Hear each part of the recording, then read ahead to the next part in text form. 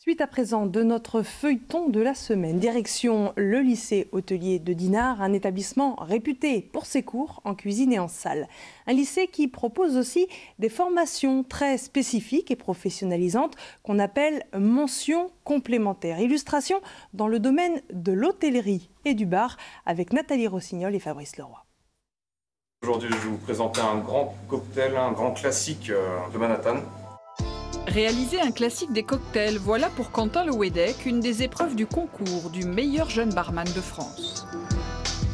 C'est un cocktail qui sera réalisé dans un verre à mélange, qui sera servi dans des verres à cocktail. Pour se préparer face à lui, un entraîneur de choix, lui-même détenteur du titre en 1999 et désormais enseignant de la mention complémentaire employé de bar. 4 minutes 18. C'est tendu, hein? Revoir l'argumentaire au début. Euh, présentation de tes bouteilles, fais attention à bien toujours mettre dans le bon ordre. Bien droit, bien droit, bien droit. Quentin Wedek est attentif au conseil. Outre sa formation d'un an, un titre au concours pourrait lui ouvrir davantage de portes dans les bars de luxe des hôtels 4 et 5 étoiles de France et d'Europe. Je me suis dit que ma passion pouvait peut-être me mener à quelque chose. Et si ça pouvait me mener à quelque chose de bien, il fallait que j'en profite.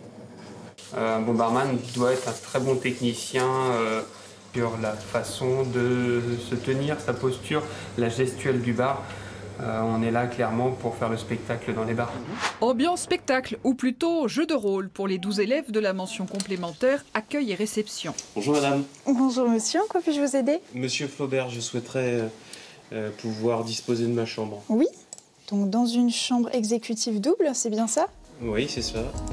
Face à Nina, derrière le comptoir fictif d'un hôtel, des professeurs qui jouent les clients. Alors, je vous laisse patienter un petit instant, s'il vous plaît. Hôtel Emerald Nina, bonjour. En quoi puis-je vous aider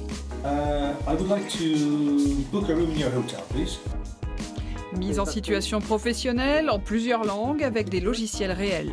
C'est une formation d'un an en fait et c'est une formation professionnalisante parce qu'on a beaucoup de semaines de stage donc euh, on est baigné directement euh, dans le, monde du travail en quelque sorte.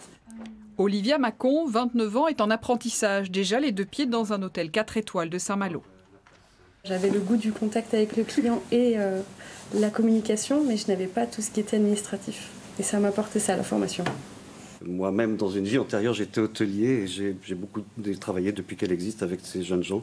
C'est souvent une, une, une, ressource, on, trouve de, de futurs salariés. Des emplois donc assurés à la clé pour ces élèves passionnés. Passion qui peut se révéler très jeune, c'est ce que vous constaterez demain.